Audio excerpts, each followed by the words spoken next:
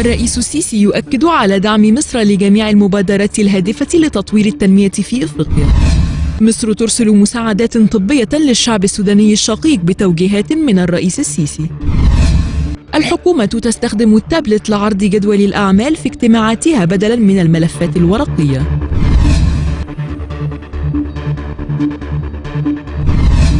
التقى الرئيس عبد الفتاح السيسي صباح اليوم بالمدير التنفيذي لوكالة الاتحاد الإفريقي للتنمية نيباد. وأكد الرئيس السيسي دعم مصر لجميع المبادرات الهادفة إلى تطوير التنمية في إفريقيا خاصة مشروعات البنية التحتية والطاقة وبرامج بناء الكوادر البشرية الإفريقية.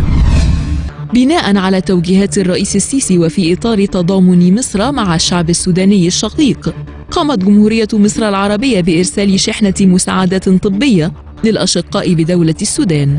وتتمثل المساعدات المقدمة في أدوية ومستلزمات طبية للمساهمة في تخفيف العبء عن كاهل الشعب السوداني.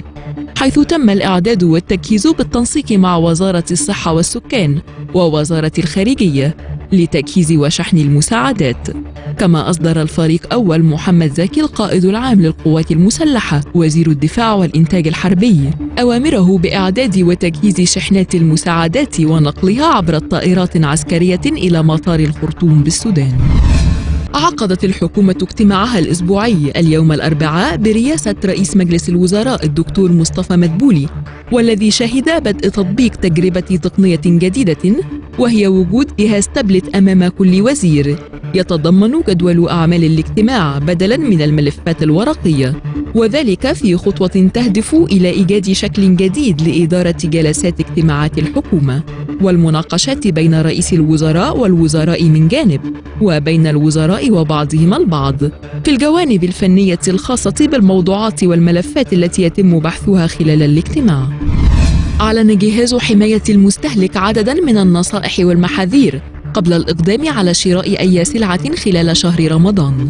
وحذر جهاز حماية المستهلك التجار من محاولات البعض إخفاء أي منتج أو سلعة بهدف المغالاة في الأسعار بالإضافة إلى محاولات التضليل والغش التجاري. ودعا الجهاز التجار إلى ضرورة الالتزام بقواعد الصحة ومعايير الجودة مع الالتزام بالإعلان عن الأسعار بشكل واضح فضلا عن إعطاء المستهلك فاتورة صحيحة وشاملة بالسلع التي يشتريها مؤكدا ضرورة الالتزام بالقانون حتى لا يقع البعض تحت طائلته.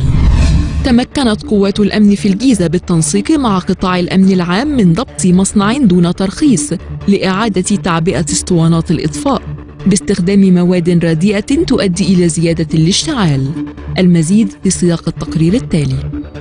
غاب الضمير وسيطر الاستهتار وجشع جمع المال إلى الدرجة التي تنتج فيه طفايات حرائق مثل هذه تؤدي إلى زيادة اشتعال الحرائق بدلا من وظيفتها الأساسية في إخمادها. فقد نجح قطاع الأمن العام بالتنسيق مع أمن الجيزة في ضبط مصنع غير مرخص بالجيزة لإنتاج وتعبئة أسطوانات الإطفاء باستخدام خامات رديئة تؤدي إلى زيادة اشتعال الحرائق.